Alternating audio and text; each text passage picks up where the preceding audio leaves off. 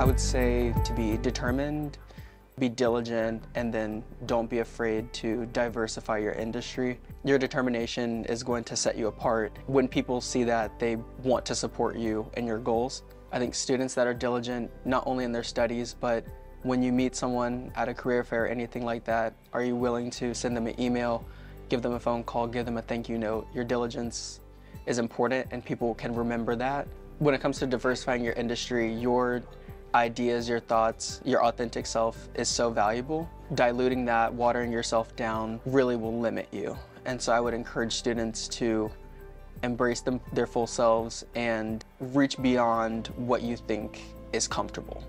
I've built a lot of community through my different organizations and groups, whether it was with MANRRS or the Saddle Seat team, we had that common experience that through very tough times, through happy times, we would celebrate each other's wins. And I thought that that was very important to me and to the future success of our organizations. MANRRS provided so many opportunities for me to um, apply for scholarships and different things like that to remain in school.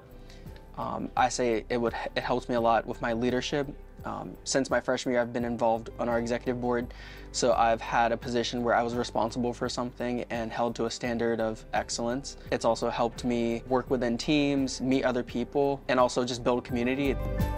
The Lyman T. Johnson Torchbearer Award means the world to me. It's monumental, um, not just because of what Lyman T. Johnson did, which was revolutionary, but because of the people that have been given the award before me.